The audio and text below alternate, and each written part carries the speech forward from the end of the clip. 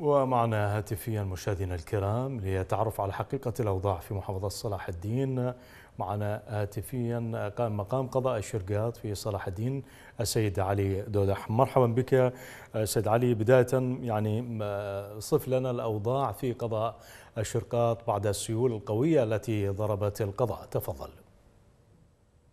أهلا وسهلا حياكم الله. وحياك. الحقيقة ليلة أمس منذ الساعة الثالثة فجرا اجتاحت سيول كثيرة وكبيرة وقوية جدا قضاء الشرقاط في منطقة قريه الحورية.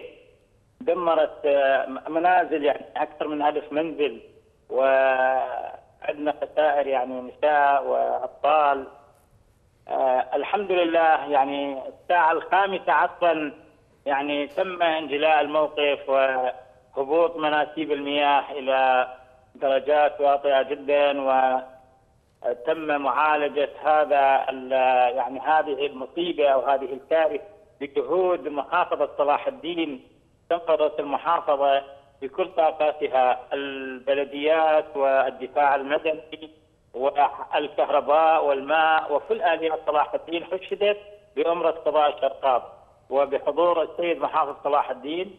والحمد لله تم إخلاء كل المواطنين الذين يعني تكبدوا الخسائر في دورهم في أساسهم في مواشيهم في أغنامهم. كلها غرقت بسبب هذه الفيضانات وهذه السيول الجارفة.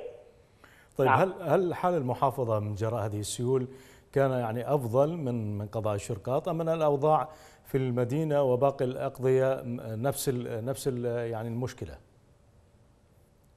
لا الحقيقة فقط في قضاء الشرقاط هذا الوادي يعني التحقيق يمتد من شمال الشرقاط يعني جنوب الموصل من سنجار ومن الغور ويتجه باتجاه الشرقاط سابقا آه، عندما تحصل الأمطار يعني فيضان بسيط داخل الوادي أو داخل مجرى هذه الأودية.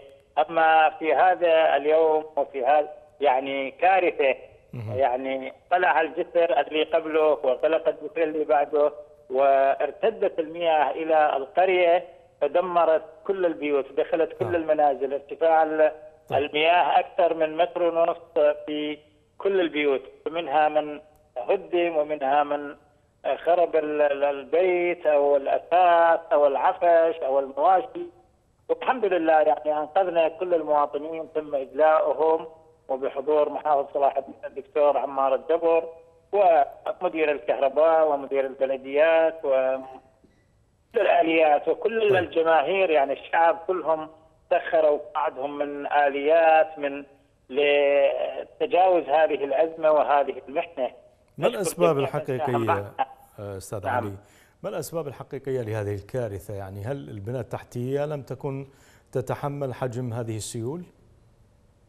لا الحقيقة يعني ماكو أي بناء هو بالوادي بالوادي يعني جت سيول أمطار من مسافات بعيدة.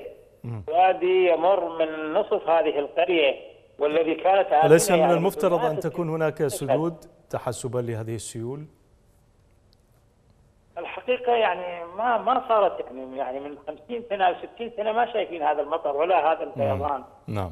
تمطر الامطار يكون الوادي يعني مجراه بسيط ولا يؤثر على أي أحد ولا يخرج إلى الشارع أما الآن فجرت كل ال- ال- البيوت والمنازل والسيارات و...